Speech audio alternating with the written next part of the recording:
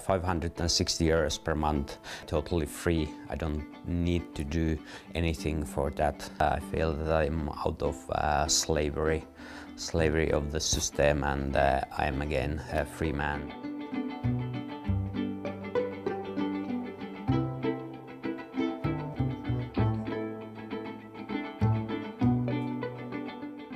We should explore ideas like universal basic income I I think ultimately we will have to have some kind of universal basic income. to make sure that everyone has a cushion to try new ideas.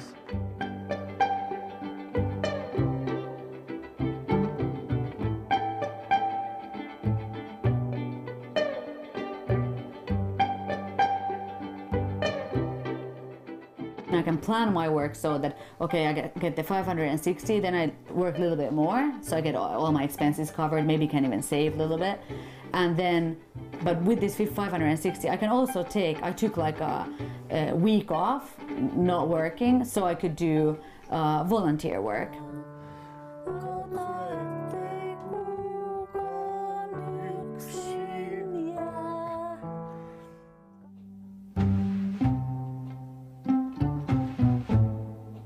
Everyone should get the basic income, and uh, I believe that it would make uh, the economic and uh, business much better.